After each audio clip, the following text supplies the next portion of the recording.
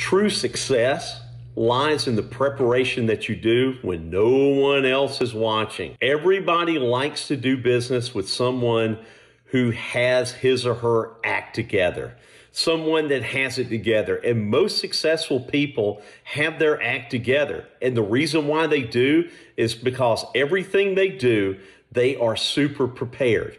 If I'm going to do a presentation in Kansas City, I'm going to prepare and prepare. I'm going to go over that presentation a hundred times, a month ahead of time, if I can, before I actually go out there. I'm not just going to just scribble something out and go out there and stand in front of 5,000 people and act like I don't know what I'm talking about.